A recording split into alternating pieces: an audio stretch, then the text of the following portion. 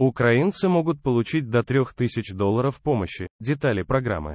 Международная гуманитарная организация Мерси Корпус начинает программу поддержки сельского хозяйства Украины.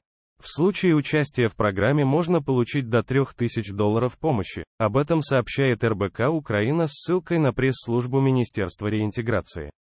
Цель программы – помочь местному населению и внутренне перемещенным лицам восстановить фермерскую деятельность, пострадавшую в результате войны. Участвовать в программе могут жители Донецкой, Запорожской, Николаевской, Харьковской и Херсонской областей, за исключением районов, где продолжаются активные боевые действия, размер безвозвратной финансовой помощи в среднем составляет 3000 долларов, чтобы принять участие в программе. Необходимо зарегистрироваться на сайте и подать заявку.